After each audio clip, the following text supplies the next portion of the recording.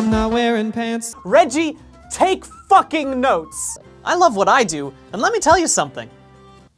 I've worked some days. This survived.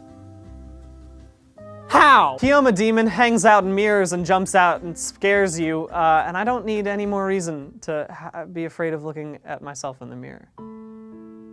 Ooh, baby, baby, some new shoes. But when you smash together everyone's stinky, rotting corpse, you can move mountains together. That's cooking, baby. Turn away.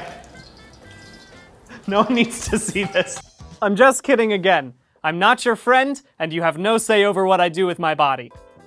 Don't 100% know Uh, how to feel about how good my friends are at painting sad clowns, but I'm glad I gave them an outlet. Sometimes I think I can talk to plants. At least I wouldn't get scurvy. I felt physically ill and had to lie down for several hours. It's time for that part of the recipe!